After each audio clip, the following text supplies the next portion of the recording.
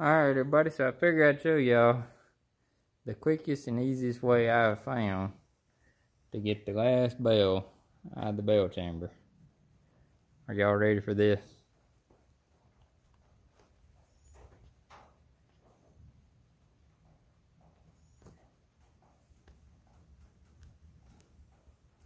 That's right.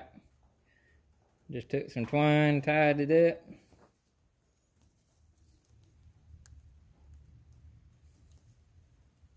And hook my winch to it on my side by side. Yanked it right out there. Now all I gotta do is just reach in there and grab it and pull it on out. Says Kuhns accumulator. That's one of the downsides to it, getting bales out of the out of the bale chamber when you get done baling. So that's the quickest way I've found.